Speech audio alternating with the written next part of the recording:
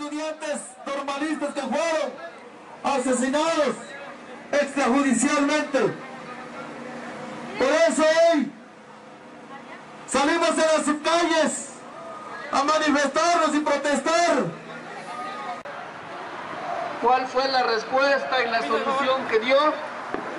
Solamente recurrir a las armas porque se le agota el diálogo, porque no entiende que el diálogo debe tener respuesta. Sin embargo, nunca la hemos encontrado.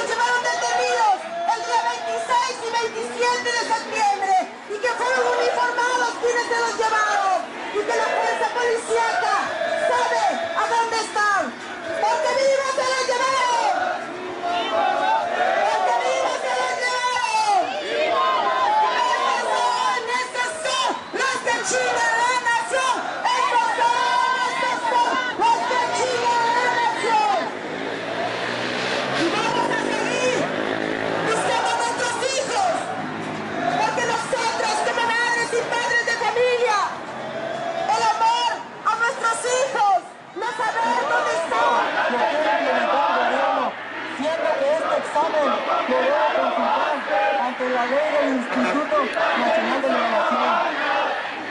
Esta es una reforma neoliberal que lo único que hace es atentar contra la estabilidad de un buen empleo.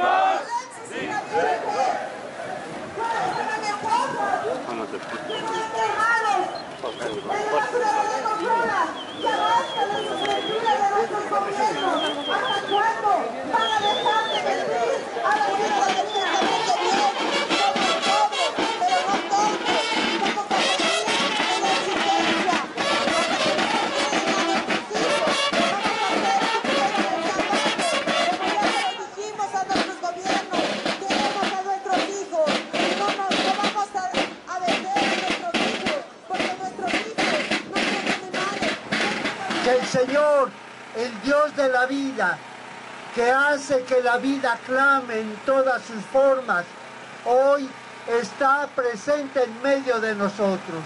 Hoy está presente en el clamor de esta tierra que, que reclama justicia y paz. Por eso el Dios de la vida está escuchando hoy la palabra del Dios de la vida que nos invita a, fortalecer el corazón para seguir el camino, seguir la lucha, seguir proclamando que la injusticia, la impunidad no tienen lugar entre los que creemos en la vida y que el gobierno no los canse. La fe de ustedes, la fe de este pueblo que se unifica, la fe de hombres y mujeres que no quieren callar, la fe de hombres y mujeres que no quieren dejarse adormecer con mensajes tran- tranquilizantes. Hoy el Espíritu de Jesús, el Espíritu de la verdad y la justicia hace presencia, hermanándonos, hermanándonos a todos para que podamos hacer el camino de un mundo más justo y verdadero. Buenas tardes a todos. Me da mucho gusto que nos estén apoyando en estos momentos difíciles para nosotros, la familia de Jorge Alexis Herrera Pino. Yo les pido que nunca nos cansemos y sigamos siempre luchando, luchando para que eso no quede impune. Que Diosito me los bendiga a todos y a todos los que estamos fuera también de este-. Eran jóvenes estudiantes normalistas de Yoxinapa, exigiendo justicia y sus derechos. Se encontraban bloqueando la autopista del Sol cuando la cobardía dio cuenta de los hechos. Gabriel Echeverría de Jesús de Tixla y Jorge Alexis Herrera Pino de Atoyac, acribillados aquel 12 de diciembre de 2011. Por parte de la familia Echeverría de Jesús, le damos un agradecimiento a las organizaciones, a las escuelas del BUMPE, a la FEXU y a todos los que nos están acompañando aquí, porque sabemos que nosotros seguimos pidiendo justicia y sabemos que también hay gente con dignidad, gente que no se calla, gente que pide justicia, gente que tiene hambre, hambre de esa justicia que nunca le hemos encontrado.